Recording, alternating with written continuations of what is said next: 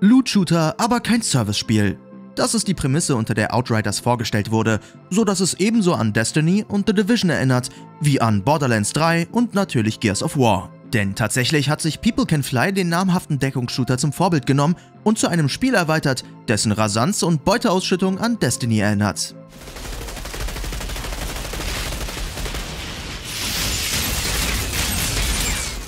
Typisch Science Fiction. Die Erde ist mal wieder unbewohnbar, also flüchtet die Menschheit per Kolonieschiff, diesmal auf den Planeten Enoch. Doch ganz reibungslos verläuft der Umzug natürlich nicht, weshalb das alter Ego mal eben gut 30 Jahre im Tiefschlaf verbringt, um in einer vom Krieg zerfressenen Welt wieder aufzuwachen.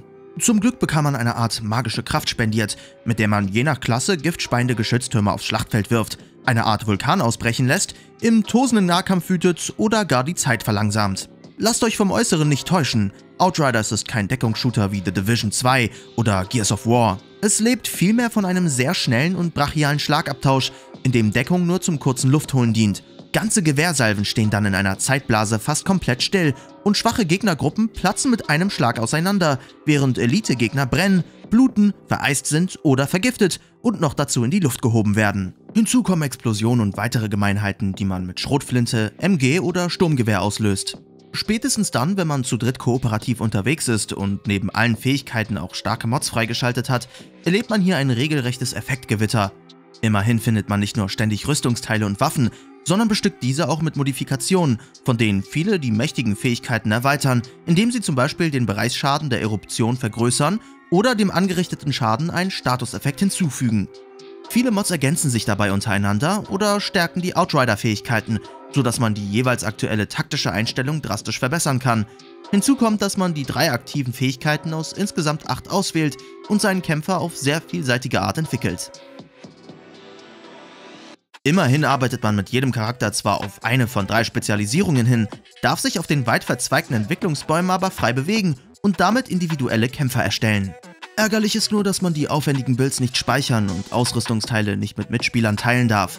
Aber das gemeinsame Erleben steht hier ohnehin weniger stark im Vordergrund, als es manchen lieb sein dürfte, denn im Grunde machen alle stets platt, was er oder sie eben platt bekommt.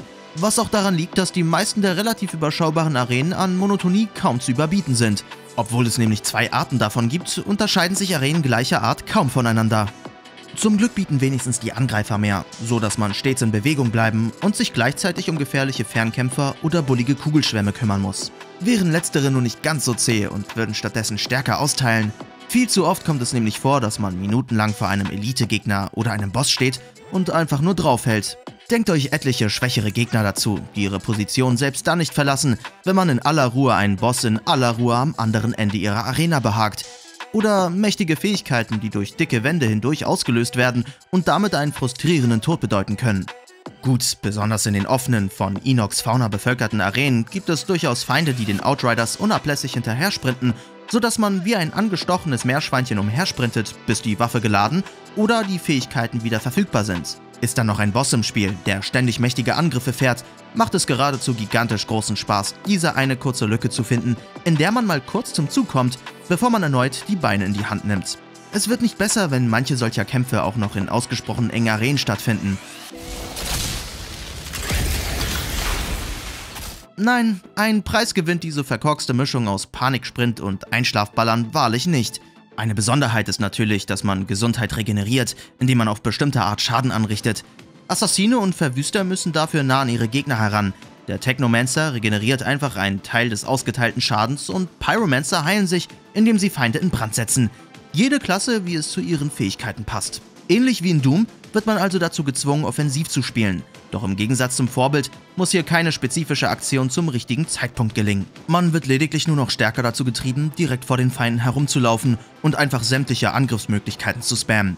Zu allem Überfluss fühlen sich die Waffen außerdem zu leicht an, denn anstatt mit abrupter Wucht in die virtuelle Schulter zu drücken, schwingt der Rückstoß relativ gleichförmig in alle Richtungen. Das ist besonders in den Versionen für PlayStation 4 und Xbox One ein Problem, die mit maximal 30 Bildern pro Sekunde laufen, was einem rasanten Shooter wie diesem einfach nicht gerecht wird.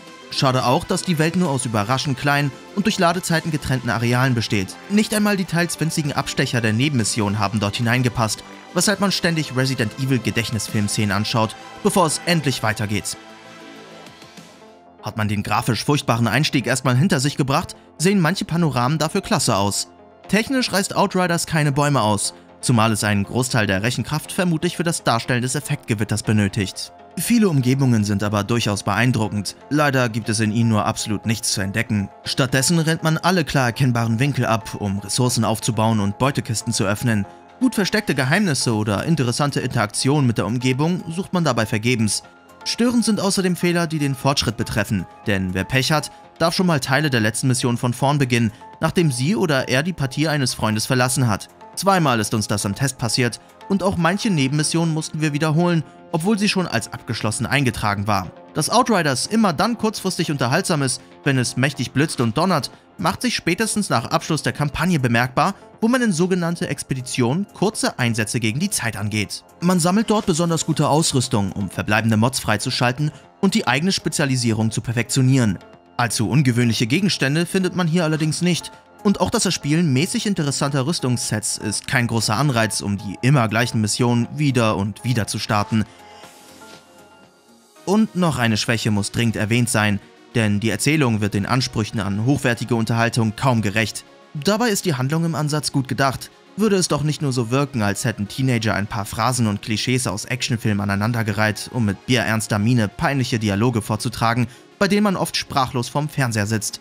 Wenn man gleich nach der Ankunft auf dem neuen Planeten keine Erklärung der Umstände, sondern einen Anschiss dafür erhält, dass man gerade 30 Jahre Tiefschlaf gehalten hat, von derselben Person, die einen eingefroren hat, ist das jedenfalls ein denkbar schlechter Einstieg.